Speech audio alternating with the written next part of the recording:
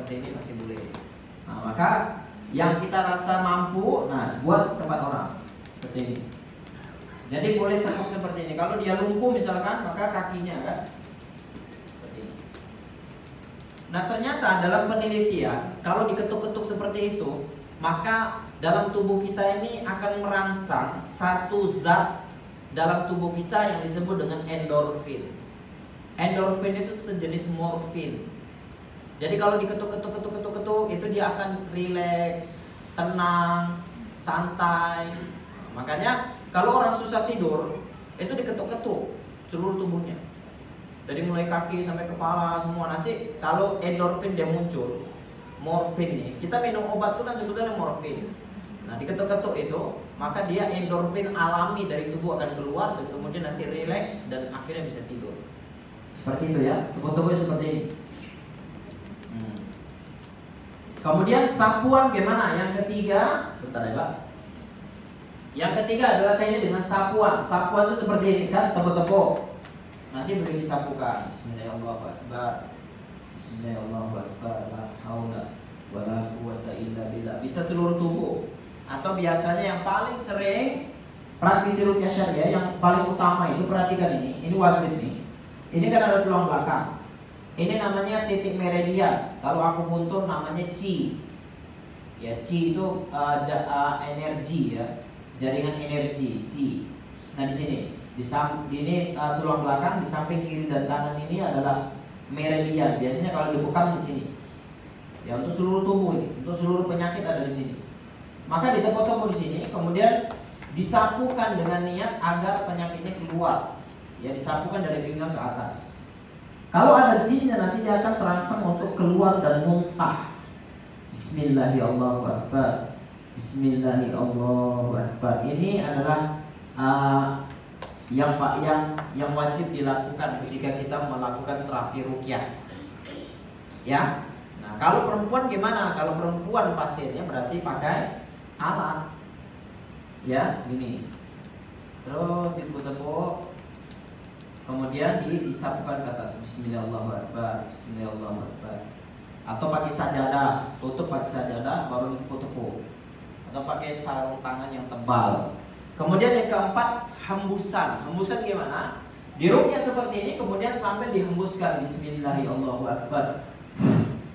Nah misalkan dia sakit di Sering sakit di sini Maka bacakan ayat Sambil ditepuk-tepuk Sambil disapu-sapukan Sambil dihembuskan kan bisa أعوذ بالله من الشيطان الرجيم. بسم الله الرحمن الرحيم.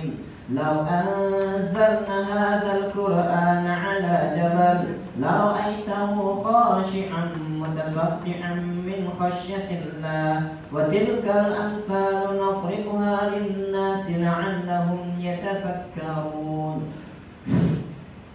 Seperti itu. Dihembuskan. Di anggota tubuh yang sakit. Kalau yang sakit di dada, dihembuskan di dada. Kalau yang sakit di kepala, hembuskan di kepala. Seperti itu. Kemudian yang terakhir dengan pijatan. Pijatan di mana? Pijat di pembuluh darah besar. Contoh di sini, ini ada pembuluh darah besar. Jadi dilukis sambil pegang sini. Nah, kemudian di sini di, di belakang telinga ini Kemudian bisa di coba ngadep sana. Di sini ya di di antara lengan ini dengan bahu sini. Ya. Kemudian di ulu hati, di perut, kemudian di pangkal paha. Kemudian kalau susah sadar, pasiennya pingsan dan tidak sadar-sadar, maka dipijit di sini di tangan tangan kiri gitu. Ini di jari kelingking.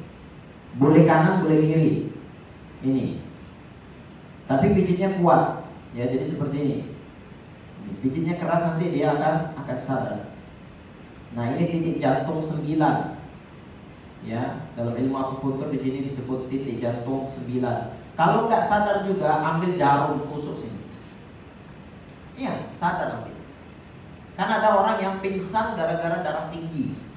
Ya, darah tinggi hipertensi, maka ditusuk di sini. tusuk keluarkan darahnya. Maka nanti insya Allah dia akan sedar. Makanya orang kerasukan ibu-ibu ada orang-orang yang kerasukan itu tidak bisa mengendalikan diri kan tidak bisa mengendalikan diri kosong kemudian nggak tahu mau buat apa ya. Maka ambil aja jarum itu tusuk di sini. Berdarah. Nanti dia akan hilang jangan diisap darahnya nggak boleh ya dikeluarkan aja nanti keluar seperti itu itu pijatan kalau tidak belum sadar juga boleh di sini. Ini. Ini titik-titik relaksasi. Sini. Kemudian di di samping kiri kanan hidung. Sini. Kemudian di sini.